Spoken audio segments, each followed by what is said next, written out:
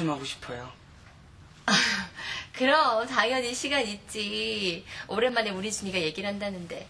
준이야, 앉아봐. 네가 속 얘기를 한다니까 엄마 너무 기쁘다. 뭔데? 강순이 때문에요. 강순이? 강순이가 왜? 전 친하게 지내고 싶은데 자꾸 절 피해서요. 왜? 제가 그동안 엄마 속 썩이는 거 보면서 한심한 녀석이라 그랬거든요. 저 그동안 강순이 때문에 알게 모르게 돈 많이 받았어요, 엄마. 한심한 녀석이라고 친구하기 싫은가 봐요. 너무 걱정하지 말고 학원 가. 시간 지나면 다 괜찮아지겠지.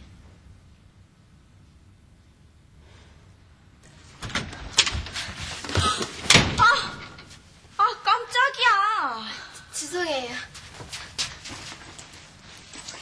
나 너무 이뻐서 탈이라니까. 자식들. 몇 눈이 있어가지고. 그려 용기 내서 전화 한번 해보는 겨. 야, 나의 매력 포인트가 어딘 것 같냐? 어? 여기? 여기? 응? 언니 지성해요. 이따 봐요. 야! 말해주면 어디 돈 나냐?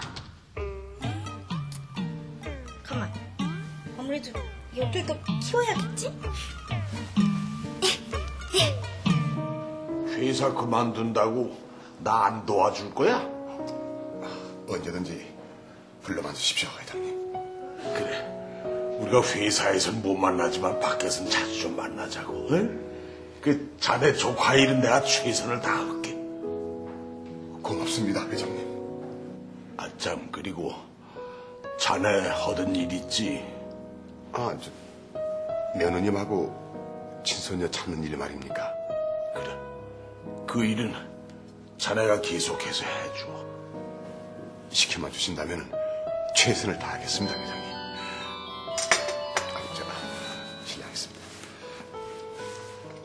여보세요? 안녕하세요. 어? 지 강순인데요. 어, 한강순. 아, 그럼 알지. 무슨 일이냐? 부탁드릴 것이 있어서 전화드렸는데 좀 만나 뵈면 안 될까요? 어, 그, 그, 내, 내가 말이다. 저, 어, 저, 잠깐 그 회장님 바꿔드릴게. 저, 강순이란 아이인데요. 그래. 여보세요? 어? 만나고 싶다고? 그래, 너 회사로 찾아올 수 있겠니? 그래, 그럼 내 기다리고 있으마. 고마워요, 할아버지.